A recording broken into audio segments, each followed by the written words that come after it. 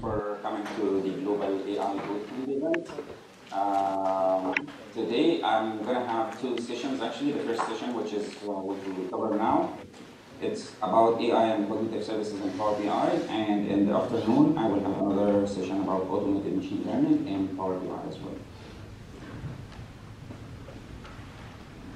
So a little bit uh, background about myself. My name is uh, Ashraf. I work as a strategic management consultant at the city of Toronto. Was one of the early adopters of actually Power BI, being active in the community and also the co-lead and the co-organizer of the Power BI user group community.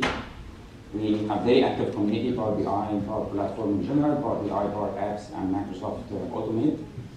Uh, we have a very active user group. We meet on a monthly basis. We build a community practice where we share knowledge and experience. So for those of you who are interested to learn more about Power BI and other uh, Power Platform tools like Power Apps and Automate, please I encourage everyone to join our user group. Uh, you can find us easily on meetup.com. Uh, also, I'm the co-organizer of the Power BI World Tour event.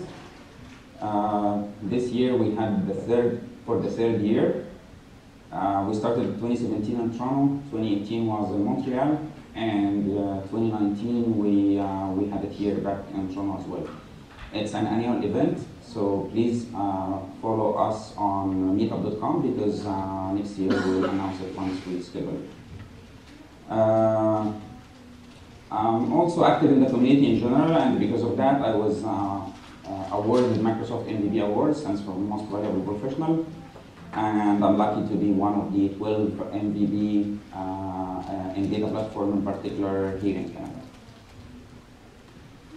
I'm also the co-author of the first Power BI MVP book. Uh, this book actually was uh, published in August 2019, and it was the first MVP book that is written by MVP from all over the world.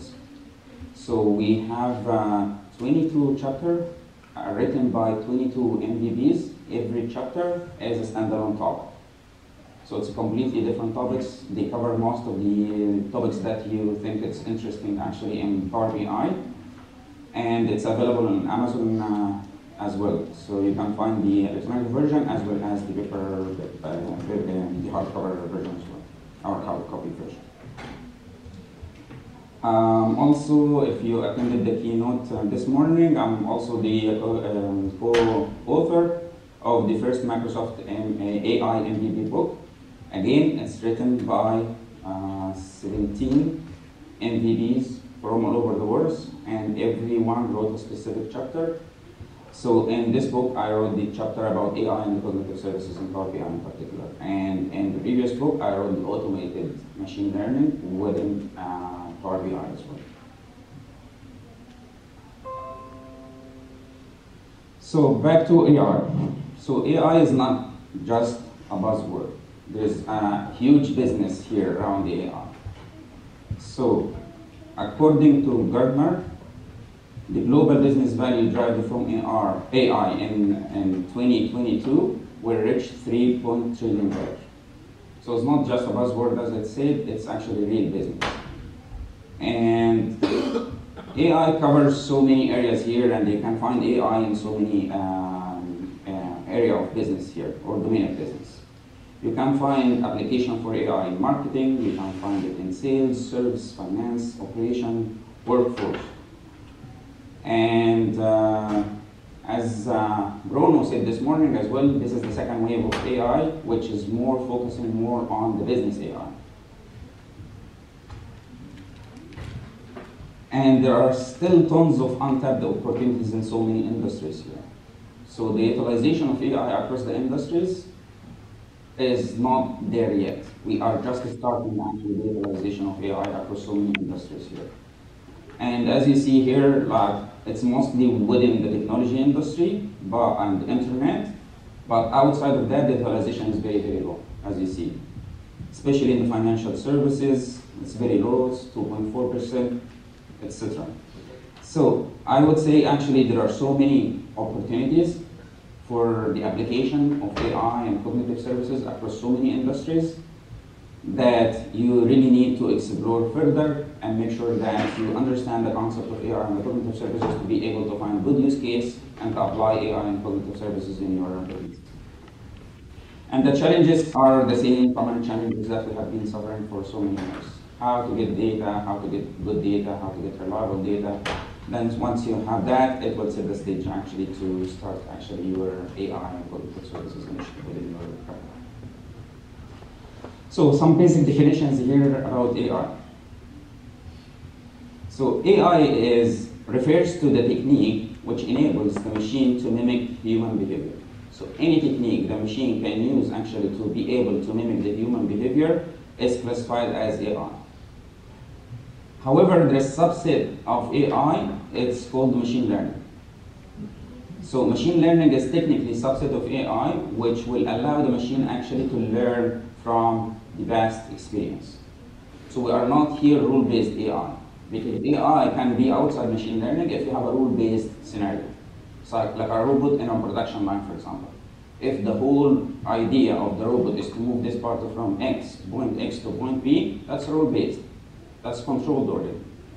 That's why there is uh, an area outside machine learning that comes under AI, because it's rule-based. Machine learning, the difference here, machine learning is allowing the machine actually to learn from the past experience without being specific about a particular scenario. And there is also more sophisticated and advanced um, subset of machine learning, it's called deep learning.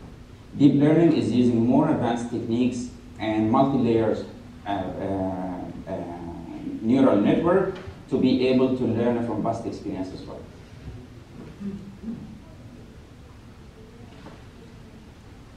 So Microsoft Cognitive Services. So Microsoft actually team, the, the, the team actually came up with some very sophisticated pre-trained models to help us actually utilize those uh, pre-trained models within the tools that we use. Power BI is one of them for sure, but there are so many other areas where you can actually take advantage of those sophisticated pre-trained model and instead of building them from scratch yourself, you can rely actually on what is already pre-built, pre-trained, and you can just consider and treat those as API, and you can call those APIs within your application. So there are five pillars here of readily available uh, AI cognitive services that you can leverage right away without the need to rebuild the model yourself. They are classified under vision, so you can have APIs that can have image detection, as Bruno covered in, uh, in, in, the morning. You can have uh, custom image recognition. You can have emotion recognition, etc. So those are KPIs, just called the API. You pass your data, and you will get the result from the API. Also, under speech recognition, it can actually, some APIs can help you to um, do speech to text or text-to-speech, etc. Language, there are so many APIs for language that can be used for detecting which language is that, and also can help you to uh, do spell check, key phrase extraction, text translation, etc. And so on. So you get the idea here. So instead of building the model yourself, because if you need to build a model, you have to have like the data science experience, and you have to actually uh, take care of all the constraints and issues around, around building the model itself including any margin of errors, etc. So you have to have the, the data science skills and the expertise to be able to build your model yourself. While, and if you rely on the Microsoft Cognitive Services API, you treat this as a black box. What you really care about is the business application of it. You have input, you pass the input to the black box, you get the output, and you have you know how to use the output from this API and actually make the business decision based on that. So how about AI and Power BI? So the spectrum here, when people talk about automated machine learning and AI and Power BI, the spectrum here is so what? So we start with the right side, which is actually will allow you to do AI in Azure. And you can build completely the model in Azure and you start consuming it in Power BI or you can rely on the, the, the, the, the other extreme is to rely on the pre-trained models, the cognitive services in Azure, and just call them in Power BI. So Azure, the first one, the first one to the right, is Azure. Either to build a model from scratch in Azure and call it in Power BI, or Power Apps, or Power Platform in general, or you can rely on those pre-trained models as a cognitive services and just call it in, in, uh, in your application. Also, you can build within Power BI the model itself from scratch using either Python or R. So Power BI supports Python and R. So you can build the model again from scratch. Don't rely on Azure at all. Don't go to the uh, Azure services. You don't have to have subscription. You didn't need to pay anything. But you can build the model completely from end to end within Power BI itself using Python or R. The limitation here again is you, first of all, you need to understand how to write Python code or R code. And also you need to understand data science as well, because you are responsible for building the model from scratch. You have to identify your data set, train the data set, uh, build the model, uh, evaluate the model, check the accuracy, etc., etc. So you have to manage the whole um, process from end to end within Power BI using Python. Or you can have uh, you rely on the automated machine learning capabilities within Power BI itself. So there is no code required here. The third one. So here, as you can rely on the automated machine learning capabilities in Power BI and build the model yourself based on your data set, train the model yourself based on your own data set within Power BI. No code required at all. There's no need to write any Python or R code at all. Then as we move forward to the right, uh, sorry, the left side, we keep increasing actually the self-service capabilities here. Because in the AI enrichment, there are some AI capabilities that Microsoft team is bringing now to uh, Power BI. So instead of building the model using the eight automated machine learning capabilities, by the way, the automated machine learning here, this will be the, the topic actually of this afternoon session. Here, we are not building a model. Here, we are just, will know how to actually leverage and use and consume the Cognitive Services API and Power BI without, again, need to build a model yourself. No need to train the model, you just rely on the APIs. So the focus for us will be. And also, as you move forward to the left side, this is the extreme self-service component, which the Microsoft team is bringing now some cognitive services and AI capabilities to some of the Power BI visualization itself. So there is no need actually to call API or, or build the model or etc. because it's the AI capabilities is embedded already within Power BI. So if you start actually using the visual, the visual will run the machine learning model behind the scene and actually give you a good idea about how, and give you some good insights about the data and what is are the key drivers. So behind the scene is running already regression models, etc., and give you in a very nice visual way uh, some insights actually. So there is no need for you to actually even know that you are using AI or cognitive services because it's already embedded within the visual itself. So I hope the spectrum here is clear. And as I told you, this is actually when people they talk about AI and cognitive services, they, basically talk about those two ones. AI cognitive services as the API or embedded in the visual itself, which you don't need to even know that you are using AI because it's already built in. And as I told you, the focus for today's sessions will be around those two topics. Afternoon will be around AutoML within uh, Power BI, and this morning session will be focusing on the AI cognitive services within Power BI. So this is not all the the session. So, so what are those capabilities now that we have within Power BI? So the, the AI cognitive services capabilities that we have so far, they are classified under four categories. Language detection, so we have API that is built in within Power BI that can will help uh, that will help us actually identify 120 languages so far, and the API will return to you what is language is that. So it's called language detection. Text analytics, cognitive services API as much wider than that. But what I'm talking about to you, or, and what you see in this slide now, is what currently is being supported by Power BI. But in the future, we will keep integrating more and more AI cognitive services in Power BI. But this is what we have so far. So the first one is language detection. The second one is key phrases extraction. So we have another built-in API component that will actually help us extract the phrases from the text. So you pass the text, free text, comment, for example, so many lines, and instead of wasting your time reading those comments word by word, you actually call the API, it will extract the key phrases, and it will give you what are the commonly used words in those comments. So it can actually help you to narrow down your search or focus on particular issues or complaints or feedback from your customer, etc. The third one is sentiment analysis. So sentiment analysis uh, is another API. You don't need to build your own sentiment analysis model. It's, instead, you can just use the API, pass the text through the API sentiment analysis, and it will give you a score from 0 to 1. 0 is neg very extremely negative, and 1 is extremely positive. And it's up to you to now how to use the score to interpret it and take the proper action based on that. The languages are supported now is English, French, Spanish, German, other languages well still in, in the review, and they return 0 to 1 as I told. And the last one here under vision, it's called image tag, tagging. So you pass the, the image to the built-in image tagging KPI, API, uh, cognitive services um, uh, in Power BI, and it will give you actually um, um, objects, uh, will identify the objects within the image that you are actually passing to the cognitive service.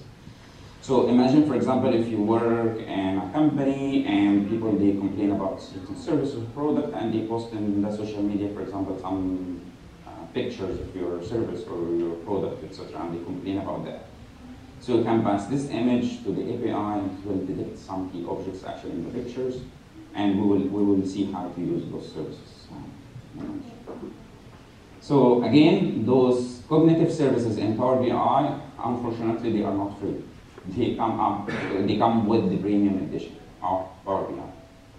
So to be able to use those built-in cognitive services capabilities within Power BI, you have to have the premium edition. It doesn't come with the free edition and also doesn't come with the pro edition. If you don't have the premium edition, you still can leverage AI cognitive services, but as API. So you have to register your cognitive services API, then you can consume it in Power BI. But in this case, you have to have Azure subscription, and you pay as you go with the API on Azure. But those ones are the ones that are currently supported out of the box, built in within Power BI without the need actually to go to Azure Cognitive Services.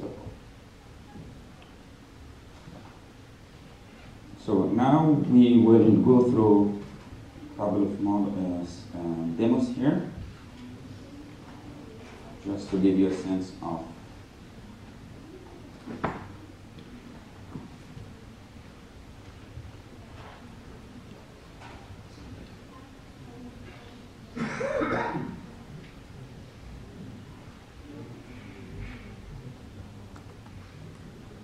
So as you see, if you, if you go to Power BI and try actually to the data as usual. So the scenario here that I came up with, we have um, feedback and comments from the customer from, for the fictitious company that we have here. So the columns, just to make sure that you are familiar with the contents here, we have ID, we have specific topics and subjects, and we have comments here from the customers about our service or our product. What I did here is I picked some of those comments, I went to Google Translate and translated them into some other languages. So the scenario here, assume that you have like international presence on social media and your uh, Twitter account or Facebook account, people they visit that from so many countries and they post their comments in their own languages. And the scenario that we are trying to, uh, to, to do here is how to use cognitive services to be able to detect those languages in our comments first.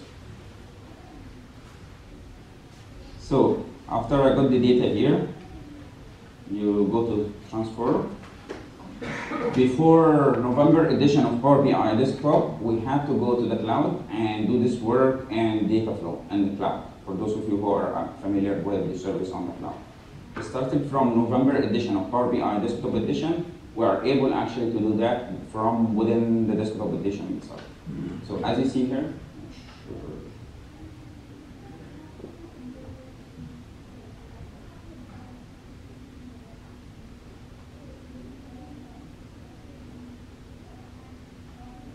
Not this one.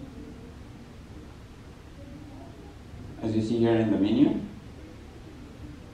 in November, starting from November edition, we can actually call those cognitive services from the new ribbon of the Power BI desktop edition. Make sure it's still in preview, so make sure that you activate it in, um, in, uh, in Power BI before to be able to see that, because this is the new ribbon actually being released uh, in November edition. Again, still preview. So the first scenario here that we will go through is uh, we need to detect the languages here.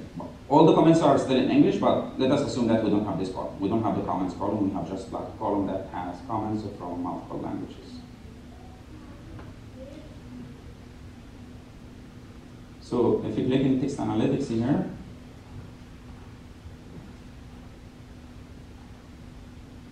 so those are the three uh, text analytics AI, API components, oh sorry, AI components within Power BI that we covered in the previous slide. First one, detect language. The second one, extract key phrases. And the third one is to score the sentiment of the comment itself.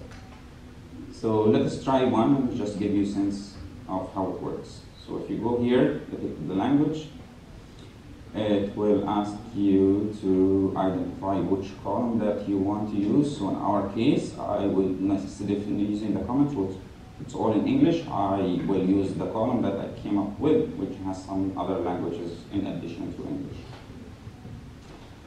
So uh, have a look here because this is actually nothing but adding one extra processing step actually in Power Query. So if I click here,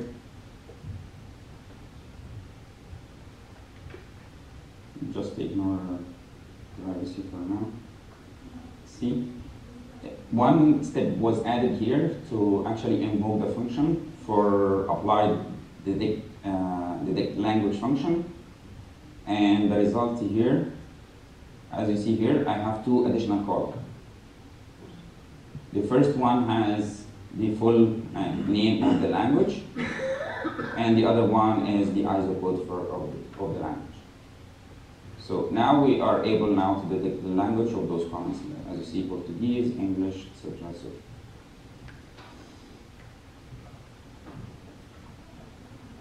so someone can say this is not very helpful, but this is actually important to me because this is actually setting the stage now to the next level, which is uh, the translation. Because this is actually one step toward the translation. Translation as API, it does exist in cognitive services. You still can use that as an API from cognitive services. But I'm talking now about what is being uh, ready, readily available from within Power BI so far. Maybe in the next couple of months, we will have the translation here as part of the, uh, the options under text analytics.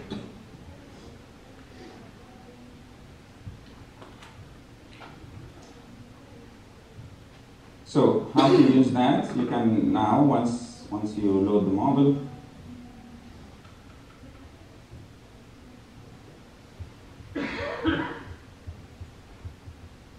now you have one of the columns here. So you can take this. And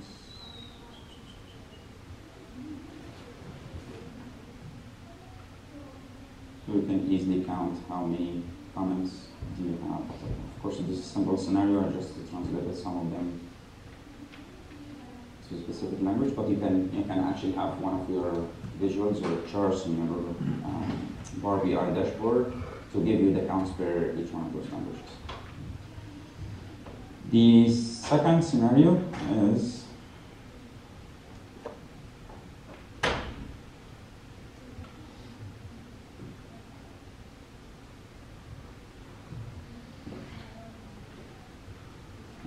key phrases.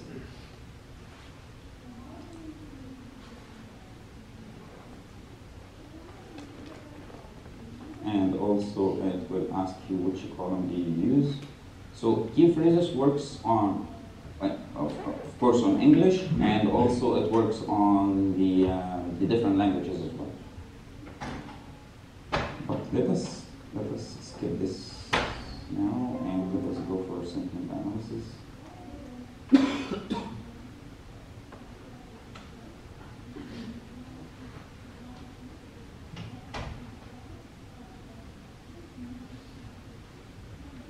So here I'm using actually the sentiment, just to show you how to use the sentiment analysis, I'm using the comments in English, but you can also use the multi-language or multi-language comment as well because sentiment analysis works in, in multiple languages. But let us keep it simple for now and just use the one column that has all the comments in English. So as you see, it's very quick here. The response is so quick. Sentiment score.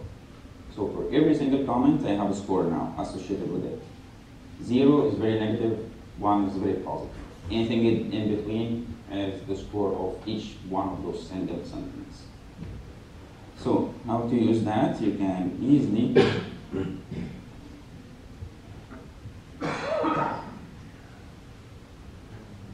go to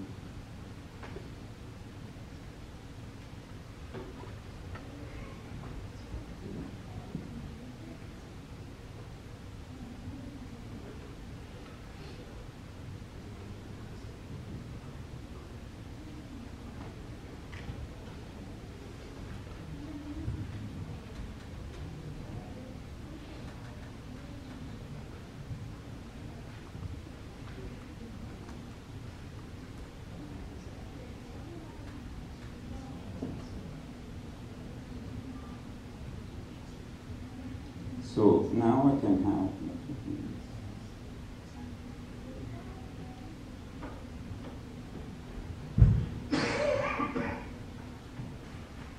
So I have now each each each comment and the sentiment score associated with it. I can also create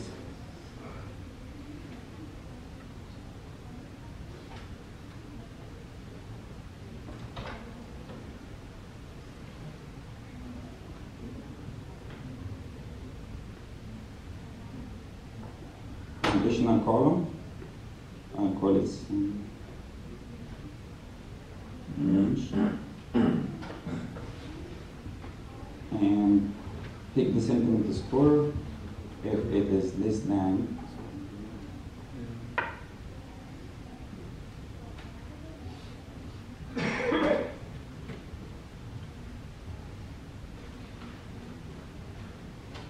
So if it is less than 0.3, I will consider this um, uh, uh, comment as negative. I add another one. If it is greater than 0.7, I will consider this positive.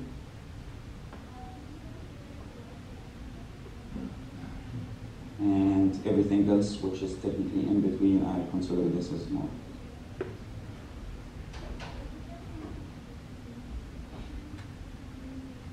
So I classified actually my comments now into negative, moderate, and positive.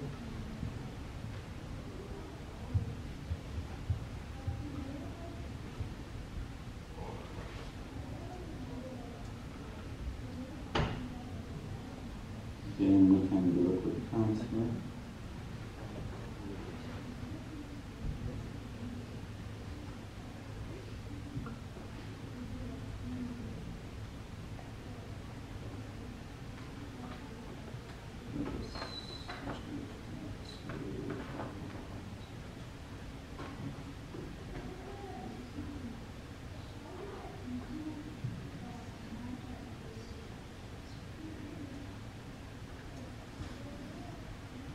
So,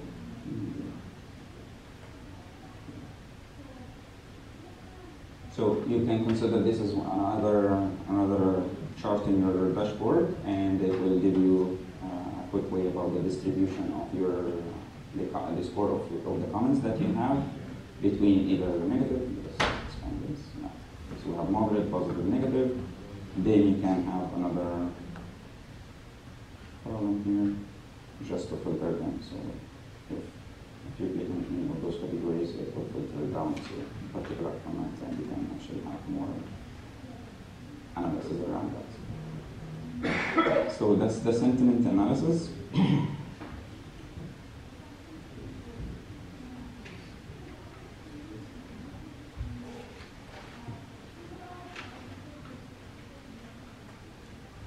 And the last one here under text is the key phrases.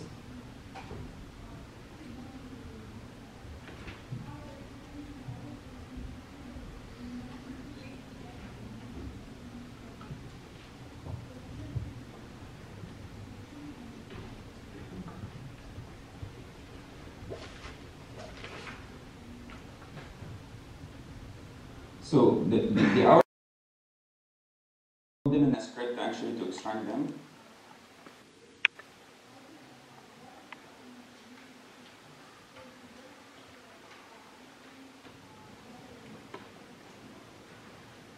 A script is simple, it's a standard script, so you can just like have index here, I have the URL of the uh, image, and the contents, the binary contents of the image as well, because we need that. We analyze based on the binary content of the image.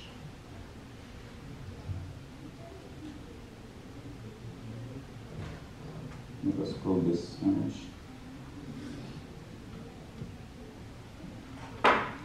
So the script actually, when I run the script, I have the ID, the URL, and the image binary contents of the the, uh, the image itself. So how to do object detection? We go here to the second option we have in the menu, vision, and tag image. Make sure that you don't choose the URL. You have to choose the binary contents of the image as well itself, because this is actually where the um, cognitive service will be using actually to the options. And so click OK.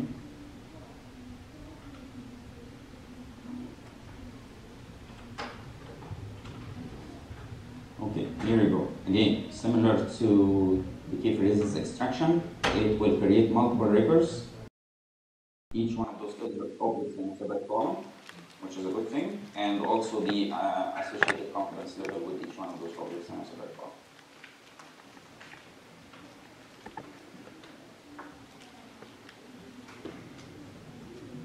So how to use that?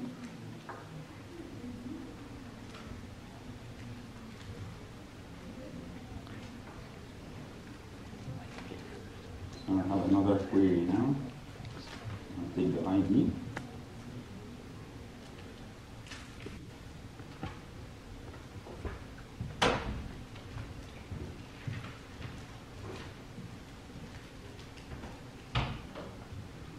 I'll take the URL.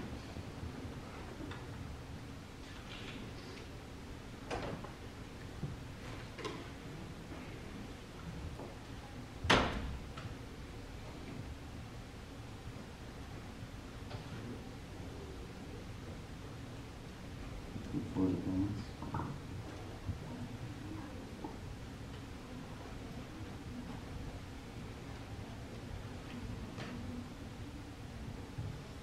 No, I don't need additional information. I will just identify this as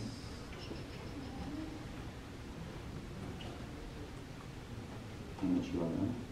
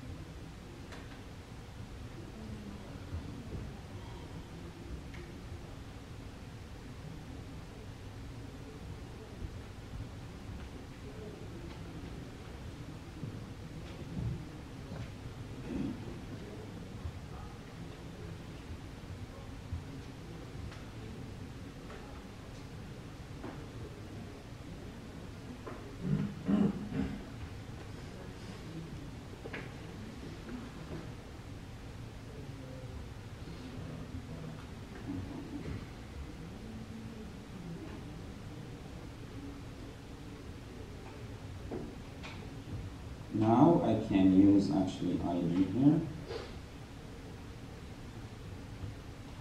And the tag. And also the confidence level.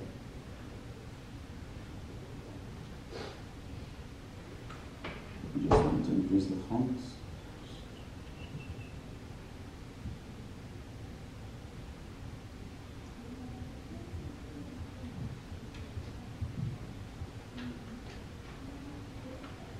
And we can uh, change confidence level here to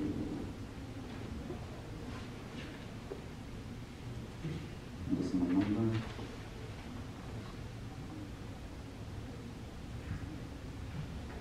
And also we can make it percentage. And now we have the list of pictures. So if I click on this particular picture, it will narrow down the, uh, the, the, objects detection to this particular picture, and I can sort them by the confidence level. So according to the model, the confidence level that we have scanned the picture 99.9%. It's outdoor for sure, 98.87%. Also, it was able to detect, detect that there is a smoke here in the picture. So it can be environment, it can be alerting actually. So this is confidence level now. Sorry? Sorry, car? There's engine here, uh, steam, steam, highway, etc. But yeah, this is the limitation of, of relying on out-of-the-box AI computers. It's improving, it's, it's, it's an ongoing process, but let us pick another one. Cat. Oh, so obvious. so it depends on the situation. Question, it's using the Azure Cloud AI, so it's using what? So it's always connected to the cloud? Okay, it's using uh, the same Azure Cloud, but, but uh, API, but this is built in within Power BI itself. So we are not actually consuming Azure API Cognitive Services. We don't pay subscription for that. We don't pay anything for consuming that from Azure. It's because it's already built in within Power BI itself. So everything I did here is based on the menu. You can do every single apply. You have a Power BI desktop and you, you apply. You need to call it to detect the objects. You still need to connect to the, the cloud services. But once you have the object detected or the sentiment is stored or etc., so you don't have to be online anymore. But you need it the first time because it's cloud service. Can I ask a question? Uh, Sure. So if you run uh, a month later or two months later, you may get better results. Yeah. You refresh the model. You refresh the data as you do with your regular Power BI model. Once you refresh the data, it will go and connect to the service and the score and detect or whatever, whatever sentiment is for, for example, and it will give you that. So if things improve in a monthly basis, and you have a, how frequently things improve in a, you know? How frequent is one, sorry? Things improve, uh, the detection improves, how, how frequently that? It's the model learning. Yeah, I guess. Uh, sorry, I'm The not. cognitive service is the model learning as you go, like it over time. Would it, would, if I ran that exact same data set that you have Uh-huh. in a year, would it say car, Mhm. learning one? Yes, but because, not because of your data, because No, the Microsoft team behind the scene is actually improving their model, right? Because, yes, exactly, exactly. Not because of you, you are not training a model. API, you are not training any model at all. API, you are just using that as a cognitive backup. service is training. But behind the scene, of course, Microsoft team is working behind the scene to keep improving their cognitive service quality. Is there a way to provide a feedback, so Sorry? it, is there a way to provide a feedback so it learns better? No, because this is not the intention here. If you need the whole closed loop and improve your model, etc., you have to build the model yourself. Here we are not building any model, we are just using out-of-the-box API. You just call the API as if you call any function in your code, for example. It is what it is. So the last, okay, because I haven't, I haven't finished yet, so can I finish the last piece, then we can go to the question quickly. So what you have seen so far is the out-of-the-box cognitive services within Power BI, and as I told you, this is uh, uh, no additional cost if you have the premium edition. Okay? So what if I don't have the premium edition then? I told you previously, the second option that you have is you can rely on the API cognitive services in Azure. Okay, so we will open a brand new file here.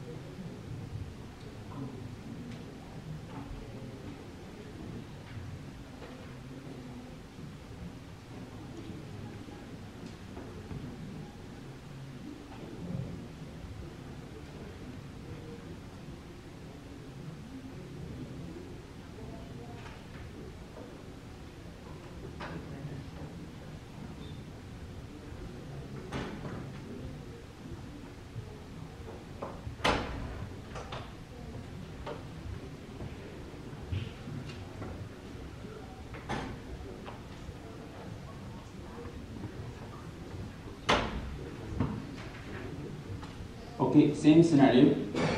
Same scenario. I have the same data set which has comments. I uploaded that.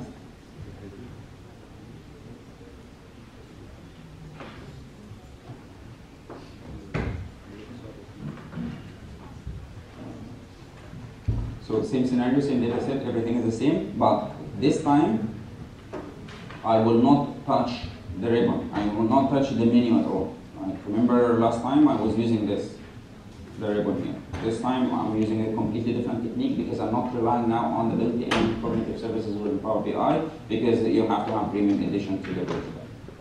So instead, uh, I will actually call Cognitive Services API, which will you pay for using this particular API only. You can different pricing schema, and the, the, the simplest one is uh, pay as you go. So the code here is so simple. There is no need to because it's already no need actually to learn any specific code at all because it's already in the, um, manual.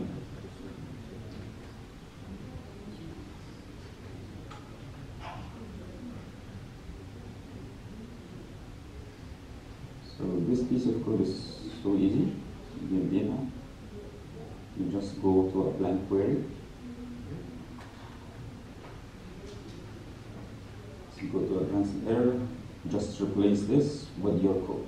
So this code, again, I'm, I didn't touch the main. I'm just using the, uh, the code to call the API. You need to provide the API key and endpoint.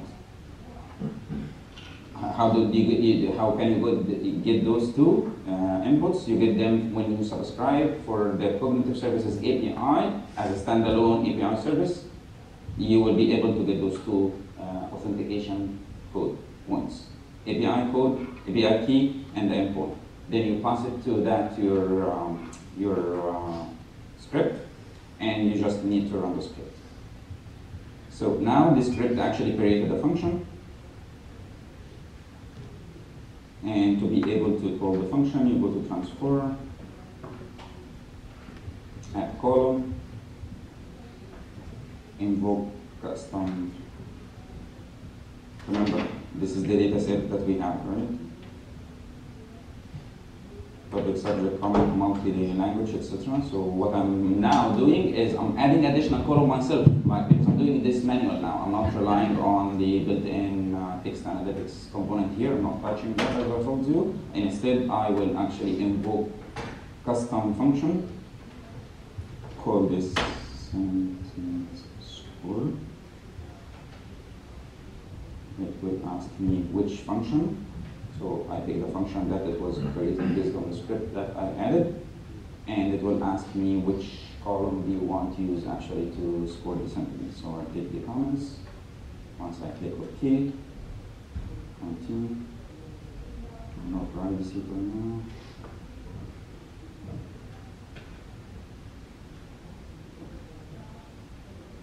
Here we go. So we have the score same concept, and they can classify to moderate, low, high, etc. So I didn't touch those at all because again, those require premium services. Instead, I just use the code to create a function that is actually uh, calling the API cognitive services from Azure, and that does the same exact thing, score the comments. And there are so many services here. Even the broad of the API cognitive services in general on Azure, much broader than what we just have so far built in within Power BI. But again, still in review, and the team um, is working now on bringing more and more of those features as a built-in features in, uh, in Power BI.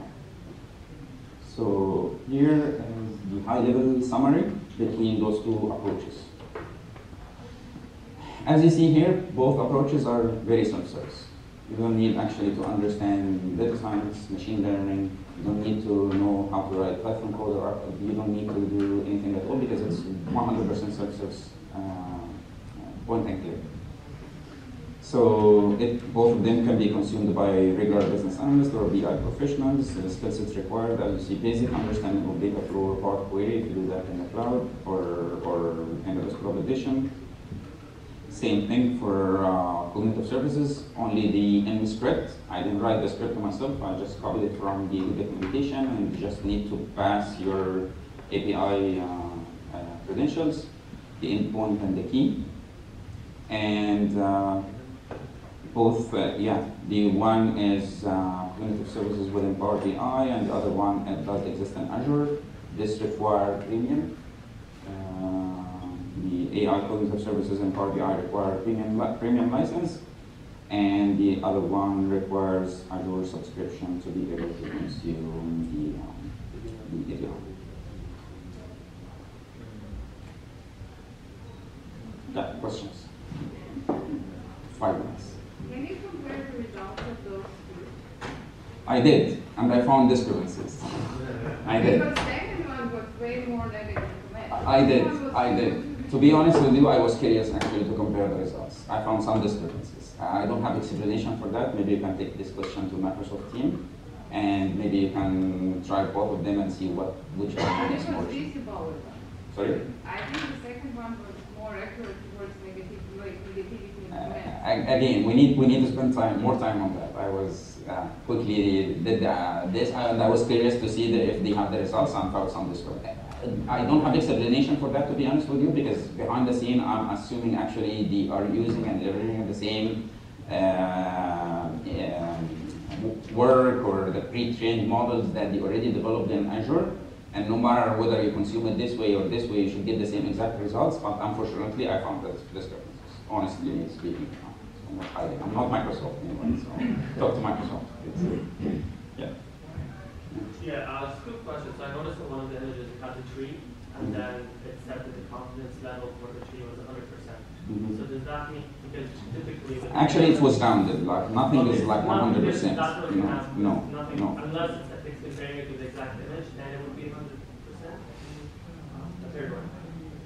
I'm not sure which. it's yeah, This one. Yeah. Uh, just let us let us uh, let us choose that confidence level. Yeah, that's what I'm gonna do. Hmm, hmm. They are so short. Oh, see? Yeah. But with the cat, there were like Yeah. Nothing is 100%. No, no one is certain about anything.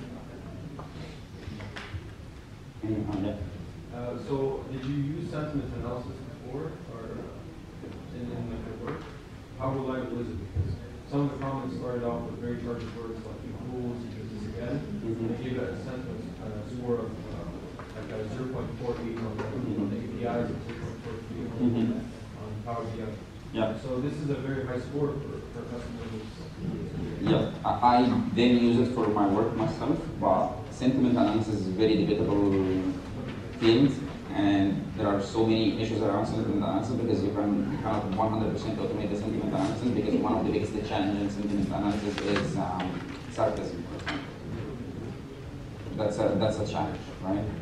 Uh, the other comment as well, if you sell uh, a machine, uh, that's a very common example as well. If you sell a machine, for example, that deals with dirt, for example, and you can say this vacuum uh, sucks the dirt very strongly, for example, or sucks or whatever. But in this context, it's very positive. But if you take it blindly to the sentiment analysis, it will give you extremely negative score. While if you put it in the context, actually it's very, it's actually doing the job that it's designed to do. So be careful of sentiment analysis. You don't have to take it like 100% blindly, but it can be an indicator for something to investigate. Any other comments or questions or are good? Okay, thanks everyone.